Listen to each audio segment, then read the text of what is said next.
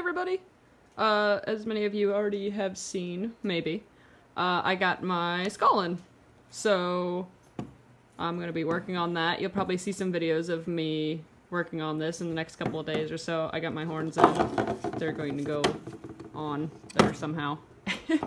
um, I got the skull from DVC Sierra, I think her name is. I'll probably just link the uh, shop in the description. But like super cool stuff. I have a whole bunch of friends order from these.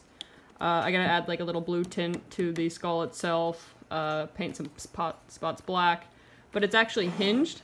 So when you talk in it, it actually comes back down. so it's like super, super cool mask.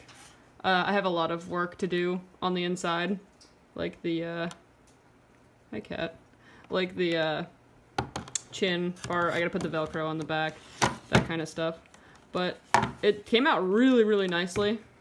Uh, I'm super happy how this turned out, but these horns were a little bit too light of the blue that I thought it was going to be, so they're going to go like a dark blue, shiny metallic. So you'll probably see some process videos on that um, throughout the week. Oh, the light turned on. Um, but yeah, no, that's about it. Uh, and you yeah, I'll probably make like a playlist of me doing this because it's super cool. It's something I wanted to got uh, wanted to get wanted to get for a while.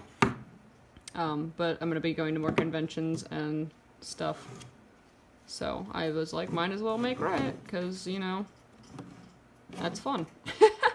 so uh, thank you all for watching and happy early Christmas. Uh, I'll, we'll be streaming sometime this week. we have grandparents down right now, so it's gonna be a little bit crazy. But uh, yeah, we'll see you on the next couple of videos, streams, whatever. Um, yeah. Bye.